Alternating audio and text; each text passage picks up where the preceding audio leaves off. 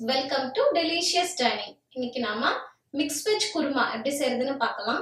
Carrot அரை cup beans அரை cup உருளைக்கிழங்கு அரை கப் காலிஃப்ளவர் அரை கப் பச்சை பட்டாணி அரை கப் பெரிய வெங்காயம் அரை கப் சிறிய அளவு தக்காளி ஒன்று துருவிய தேங்காய் கால் கப் கொத்தமல்லி இலை சிறிதளவு கருவேப்பிள்ளை சிறிதளவு மீல் மேக்கர் ஒரு கப் கறி மசால் ஒரு டீஸ்பூன் மிளகாய் தூள் அரை டீஸ்பூன் மஞ்சள் கால் டீஸ்பூன் கடுகு உளுந்து பருப்பு அரை டீஸ்பூன் கொத்தமல்லி நான்கு டீஸ்பூன் மிளகு ஒரு டீஸ்பூன் சோம்பு அரை டீஸ்பூன் பட்டை அரை இன்ச் லவங்கம் நான்கு பூண்டு ஆறு பல் இஞ்சி ஒரு இன்ச். மசாலா அரைச்சிக்கலாம். அதுக்கு ஒரு மிக்சர் ஜாரில் தேங்காய் சோம்பு கொத்தமல்லி மிளகு பூண்டு இஞ்சி லவங்கம் பட்டை. இது போல மைய பேஸ்ட் மாதிரி அரைச்சி எடுத்துக்கலாம். ஒரு பாத்திரத்தில் கொஞ்சமாக தண்ணி வச்சுக்கலாம். அதை நல்லா கொதிக்க விட்டுட்டு ஒரு சிட்டிகா அளவுக்கு மஞ்சள் பொடி போட்டுக்கலாம். இதில் நாம் எடுத்து வச்சுருக்கிற இந்த காலிஃப்ளவரை போட்டு ஒரு நிமிஷத்துக்கு வேக விட்டுறலாம். இது ஏன் செய்கிறோன்னா காலிஃப்ளவரில் உள்ள தூசு இல்லை பூச்சி ஏதாவது இருந்தால் கீழே இறங்கிடும். அதுக்காக போதும். இப்போ இந்த காலிஃப்ளவர் எல்லாத்தையும் எடுத்துடலாம். இப்போ இந்த தண்ணியிலேயே நம்ம மீல் மேக்கரை போட்டு ரெண்டு நிமிஷத்துக்கு வேக வச்சுட்டு வடிகட்டிடலாம். இப்போ இந்த தண்ணியில் எனக்கு பெருசாக புழு பூச்சுன்ட்டு எதுவுமே கிடையாது. அதனால் நான் இந்த தண்ணியவே பயன்படுத்திக்கிறேன்.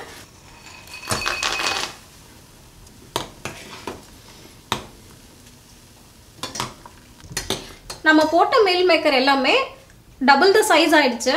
ரெண்டு நிமிஷத்துக்குள்ளே இது போல் உப்பிடும். உப்புனதும் நம்ம எடுத்துட்டு எக்ஸ்ட்ரா தண்ணி எல்லாத்தையுமே புளிஞ்சு எடுத்துடணும். மீல் மேக்கரை எடுத்த உடனே புளிய முடியாது. அதனால கொஞ்சமாக பச்சை தண்ணியை ஊற்றிட்டு அலம்பிட்டு அதுக்கப்புறமா புளிஞ்சிடணும் இது போல் கொஞ்சம் கூட தண்ணி இல்லாத அளவுக்கு புளிஞ்சு எடுத்துக்கணும். ஒரு கடாயில் நாலு டீஸ்பூன் எண்ணெய் எடுத்துக்கலாம். எண்ணெய் காஞ்சதும் கடுகு உளுத்தம் பருப்பு போட்டுடலாம். கடுகு எல்லாம் வெடிச்சதும் கருவேப்பிலை போட்டுக்கலாம். நறுக்கி வச்சிருக்கிற பெரிய வெங்காயம் போட்டுக்கலாம்.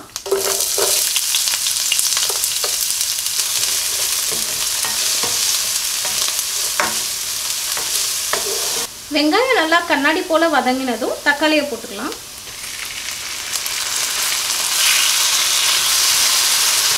இது கூடவே ரெசிபிக்கு தேவையான அளவு உப்பு சேர்த்துடலாம்.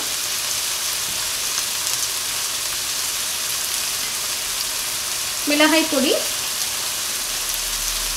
கறி மசால் மஞ்சள் தக்காளி நல்லா மசிக்கக்கூடிய அளவுக்கு வேகட்டும். தக்காளி நல்லா மசிக்கிற அளவுக்கு வெந்துருச்சு. இப்போது நம்ம நறுக்கி வச்சுருக்கிற எல்லா காயும் சேர்த்துடலாம். கேரட் பீன்ஸ் உருளைக்கிழங்கு பச்சை பட்டாணி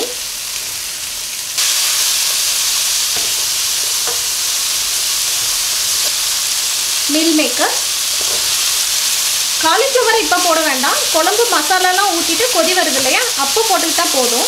ஏன்னா அது ஏற்கனவே ஒரு நிமிஷத்துக்கு நல்லா வெந்துருச்சு. இந்த காய் எல்லாமே முக்காத இடத்துக்கு வெந்துடட்டும் அதுக்கு மீடியம் ஃப்ளேமில் வச்சுட்டு லிட் போட்டு மூடி வச்சிடலாம். ஒரு அஞ்சு பத்து நிமிஷத்தில் இந்த காயெல்லாம் வெந்துடும்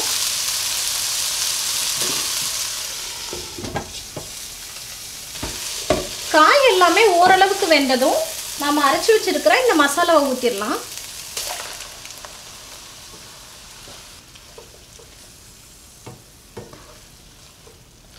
இந்த மசாலா வேகிறதுக்கு தேவையான அளவு தண்ணியை ஊற்றிட்டேன் இதை அஞ்சு நிமிஷம் கொதிக்க விட்டுடலாம்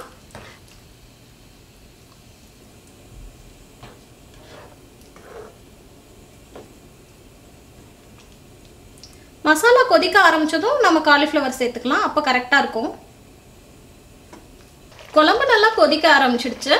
இப்போ இந்த காலிஃப்ளவரை போட்டுக்கலாம்.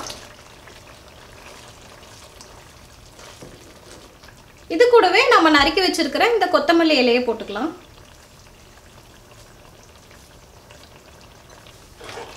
இதை நல்லா கிளறி விட்டுட்டு மூடி வச்சு ஹை ஃப்ளேமில் அஞ்சு நிமிஷம் கொதிவிட்டு இறக்கிடலாம். அவ்வளோதான். அவ்வளோதான் குழம்பு ரெடி ஆயிடுச்சு. காய் போட்டது எல்லாமே நல்லா வெந்துருச்சு. உப்பு காரம் சரி பார்த்துட்டேன். கரெக்டாக இருக்குது மசாலோட பச்சை வாசனை எல்லாம் அடங்கிருச்சு.